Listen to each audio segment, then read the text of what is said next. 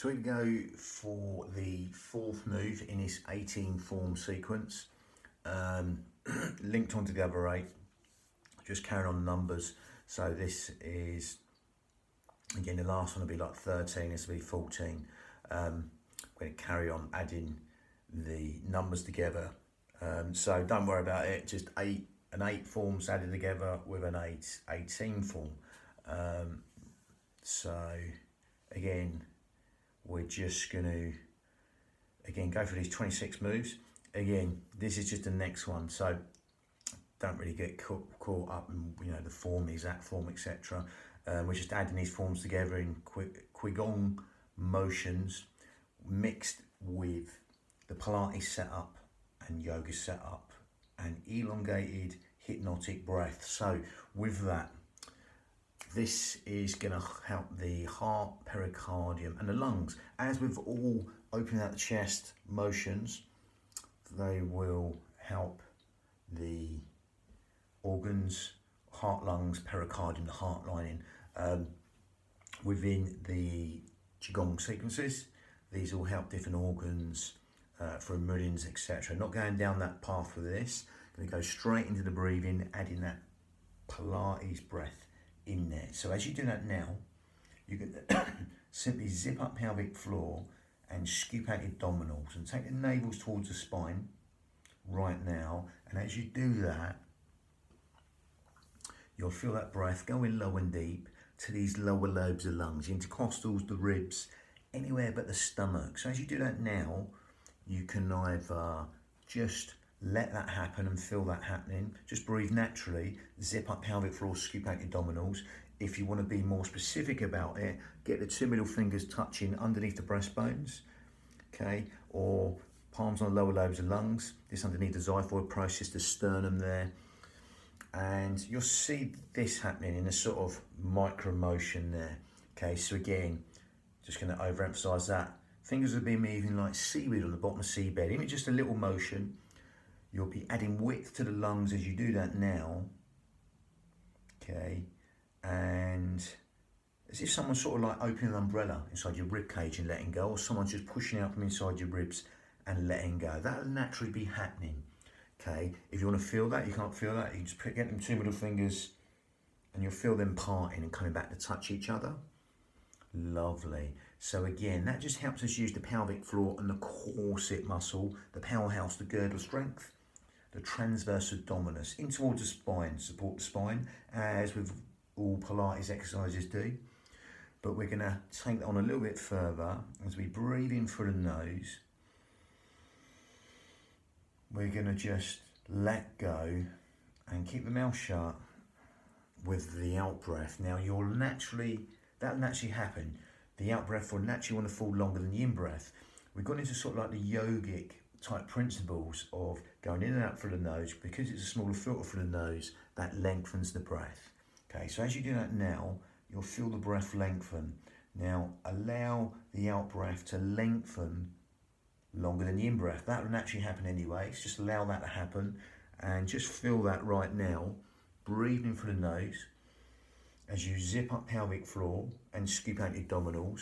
Taking the navel towards the spine, just over demonstrating there and just allow that breath to fall long. That will naturally happen, the breath will lengthen, okay? So that makes it nice and yogic, filtering breath, okay? Now, the out breath will fall longer than the in breath. that encourages subconscious benefits in a hypnotic way. That will lengthen the breath, especially the out breath, longer than the in breath. You'll feel that happening now as you do that, okay? So again, in breath conscious thought, out breath subconscious thought. Allow that to happen right now. And as you zip up pelvic floor and scoop out your abdominals, we're going to allow that breath to fall longer without forcing it. Okay, the in breath conscious thought, the out breath subconscious thought. So by extending that right now, you'll feel them subconscious benefits happening. All the housekeeping parts of the body, all the things you don't think about, all the involuntary things, cellular, communication, stuff like that would be improved. Okay, lovely. Sleep, digestion, rest, and relaxation all benefited as you lengthen the out breath longer than the in breath right now. Lovely. Now, again, if you could hear there, I've just brought in Ujjayi breath, totally optional. This takes the yogic principles up a little bit, slightly more advanced breath, Ujjayi breath, victorious breath. We grip at esophagus, and it's like a with the mouth shut. Okay, it's like a sign whistling, silky breath, Ujjayi breath, helps us lengthen the out breath longer than the in breath. Okay, Lovely. It helps us lengthen all the breath actually, but again, you're going to demonstrate that. So we're going to breathe in through the nose as we grip at the esophagus and zip up pelvic floor, scoop out the abdominals. And exhale. And as you can hear, it's soft, silky, whistling, ujjayi breath, raspy breath from the back of the throat. Okay, Lovely. And that gives our mind something to focus on within the form as you do that now. That gives you something to focus on. Brings you into the here and now, the present moment of the breath, the motion, the movement. Helps us fan the fire to burn the toxins in the body. Nice cleansing breath. Ujjayi breath. Victorious breath. Lovely. So that really lengthen the out breath. If you can't get that, don't worry. Keep on just zipping up pelvic floor, scooping out your abdominals and breathing in out for the nose. So we're going to calibrate that and synchronize that with the motion. We're going to integrate that with the motion. Okay, again, separate the clouds. Again, lovely one, put the shoulders in the right position, this one. So I'm going to go back and demonstrate that. As with all, as with all Qigong postures or any body systems, only go in deep as you like. Okay, again, you can mix a squat and as with a lot of Qigong exercises, but I won't go further than knees and line and toes. Two subjects on that, but again, I'll just stick to the old school safety, knees and line and toes. You want to go deeper, tailbone deep, but only as low as you can keep your knees and line with toes. Feet slightly wider than hip width apart or in line with hips. Okay, it can be a centimetre, a millimetre or a foot, or just stay static. Okay, see what suits you. Work it with your body. It's your union of your mind and body. So I'm going to go back and demonstrate that. So again, it's a nice simple motion. Open out the chest. We're going to come up here and push away the walls as we gather in, zip up and hollow. Try not to hyperextend the back. Okay, I'm overemphasizing there. Got to be doing this. Keep the spine neutral. Zip up, scoop out your abdominals, throw that corset on.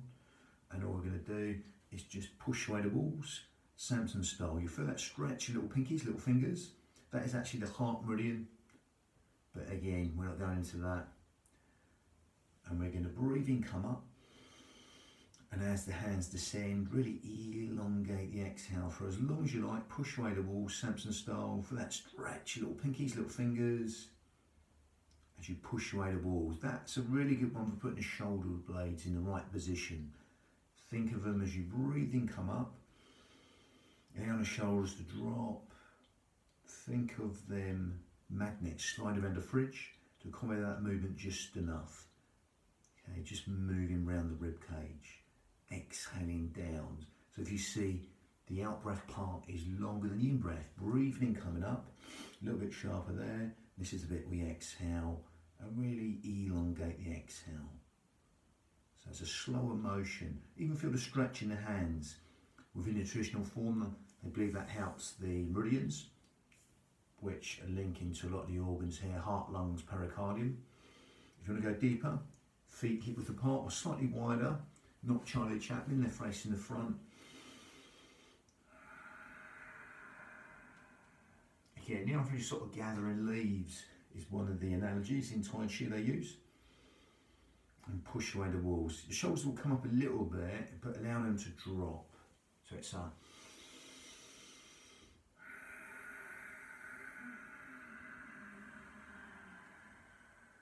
Won't go lower than knees and on the toes, less if you like, tailbone deep, only as low as you keep the knees and on the toes or less. If you want to come up on the toes, you can do. Gather in, navel towards the spine, even have a flutter up there, gathering against the instability. Create these little micro moves, nice and small micro moves, then little shakes of everyday life you have to stabilise against, optional. Gathering up on the toes, gathering against the instability. Is that more unstable? Optional. Exhaling down to the heels, gathering leaves there. And exhale.